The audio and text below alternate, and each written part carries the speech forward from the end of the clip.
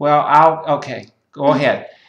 This is uh, Sabbath, uh, 17th of September, 2011 at uh, 140, well, we don't need to tell, tell the address. So we're going to